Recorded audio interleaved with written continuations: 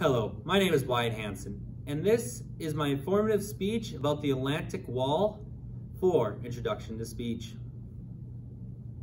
Hitler knew that without a great shore defense, he would never be able to defend Europe from Britain and its allies. This is why Hitler had approved the construction of the Atlantica Wall, also known as the Atlantic Wall. The wall was a series of separate, small and large, independent structures, along with fortresses stationed on islands that would provide support for each other. The wall had originally approved for 15,000 bunkers manned by 300,000 men. And it would be stretched all the way from France to the tip of Norway. Although he did not have enough resources to build the full 15,000 bunkers, he did manage to build 6,000 of them and stretch them from France to Norway as originally planned, which was approximately 1,670 miles. The bunkers consisted of concrete that was at least two meters thick in some places to provide bomb proofing. These bunkers also housed heavy caliber guns which were used to shoot down any aircraft that may pass over or incoming ships. The bunkers also housed smaller artillery guns to ward off any invasion. Construction of dummy bunkers was also used. They lacked artillery pieces, but some were defended by riflemen and machine gunners to convince the Allied powers that they were real bunkers.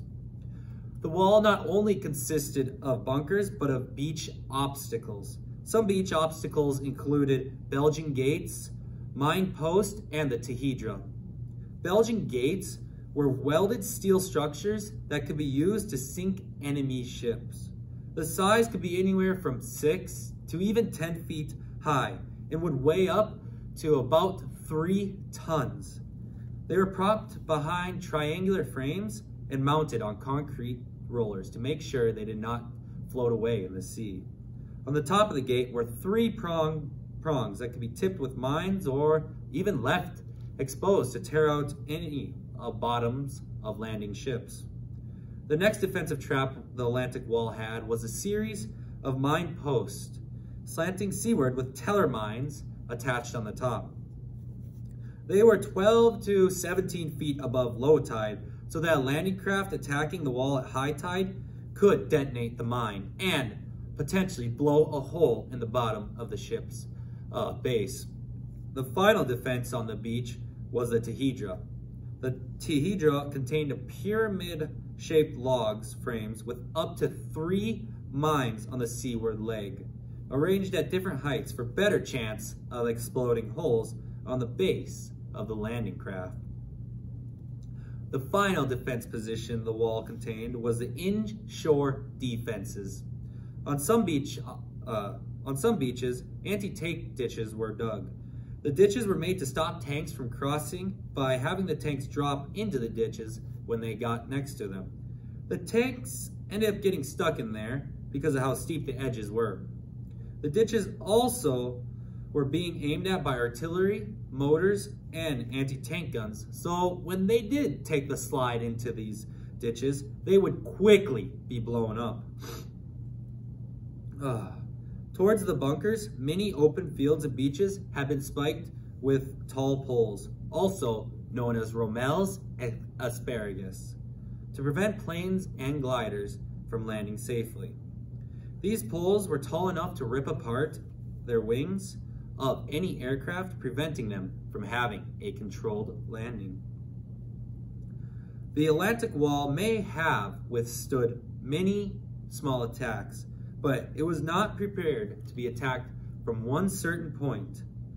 The wall did end up becoming breached by Operation Overlord, also known as D-Day, and caused the remaining forces and bunkers to be flanked from the backside. The last fortress that had been part of the Atlantic Wall didn't surrender until May 9th, 1945, one day after the German army had had surrendered on the mainland. To sum up, Hitler knew that he needed a shore defense, but unfortunately did not have the manpower or resources to fully use the wall to his advantage. The manpower he needed was unfortunately also busy fighting on the Eastern Front. Hitler was also spreading his resources quite thin, causing not the whole entire wall to be used or even built in some places. The Atlantic Wall was a great idea, but was never able to finish because of the lack of resources. If the wall was able to be completely built, a lot could have changed during World War II.